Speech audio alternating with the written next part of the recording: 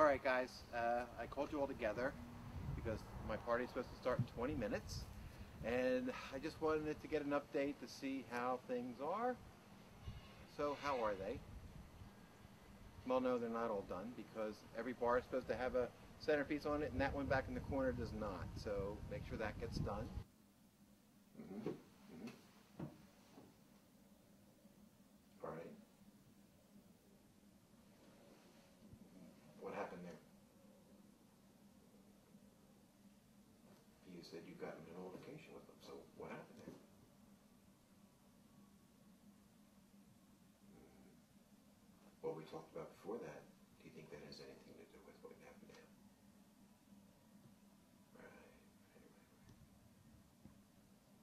Okay, we'll come back to that. Now, I'm thinking that on your chart, it also indicated that you have a drug and alcohol. You got the uh, bar back there that doesn't have its centerpiece on. Okay, all bars supposed to have a centerpiece on it. Same one on every bar. And then um, when I was walking through the hors d'oeuvre section, I noticed that the cornucopia fruit wasn't out there. Okay, you're doing that now. Okay, you're doing it now, but it has to be done by six because the party starts at six. I just want to thank you all for coming. I know you were all good friends of his, and believe you dated him for a while, and he really loved you. And I never understood why you broke up, but you know things happened, and I, you remained close friends, and you know, and